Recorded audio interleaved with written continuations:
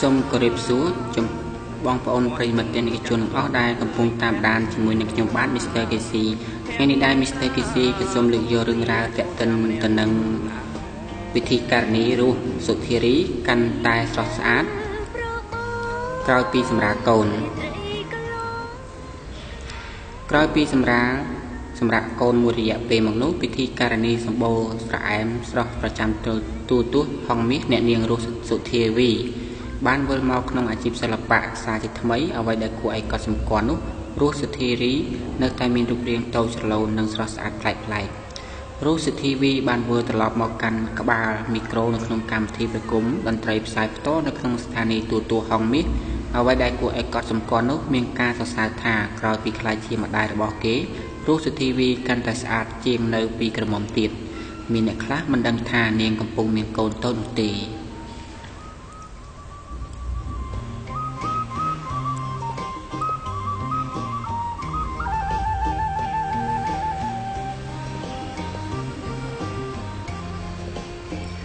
អ្នកនាងរស់សុធីវីត្រូវបានគេចាត់ទុកជាវិធីការនីដែលមិនធ្លាប់ជួបប្រទះនៅរឿងអាស្រូវអ្វីឡើយ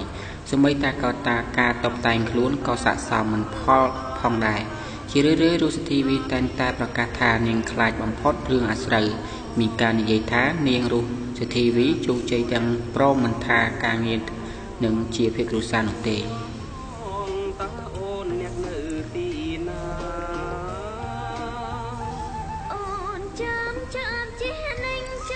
សប្តាហ៍ថ្ងៃអ្នកនាងកំពុងរស់នៅយ៉ាងមានសុភមង្គលជាមួយស្វាមីនិងកូនស្រីដែលមានវ័យជា3ខែ មានឈ្មោះថាវិរក្សាពេជ្រចរណៃដែលមានមុខមាត់ស្រស់ស្អាតគួរឲ្យស្រឡាញ់ទោះបីជានាង មានកូនតែរស់សិទ្ធិវីតែងតែចំណាយពេលចេញទៅទទួលទានអាហារនៅក្រោមពន្លឺភ្លើងទៀនជាមួយស្វាមីដូចកំឡោះក្រមុំអញ្ចឹងផងដែរ ខ្ញុំបាទ Mr. KC ក៏សូមបង្ហាញរូបភាពមួយចំនួនពាក់តិនទៅនឹងអ្នកនាងរស់សុធីវីដែលរឹតតែស្រស់ស្អាតនៅពេលដែលគាត់មានកូនហើយអ្នកខ្លះក៏មិនអាចដឹងថាគាត់មានកូនតូចនោះទេស្រឡាញ់តែអូនមួយមិនអោយក្រីព្រួយក្នុងហារតីស្រឡាញ់គ្នា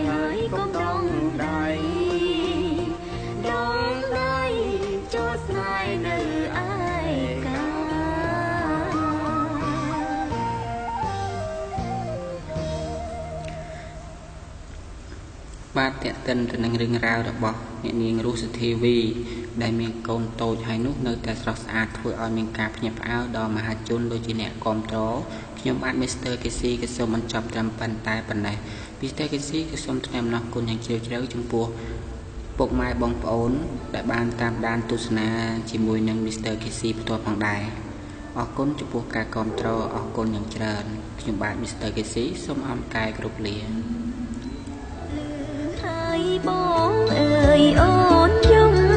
នឹងប្រអពីរំពុំមានរសាយសូមលំ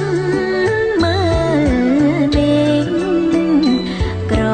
លេងអើងអើយមើលកាយងាយអើយអើយសែនឆ្ងាយខ្យល់បងផាន់ផាយឆ្ងាយក្លិនរៀង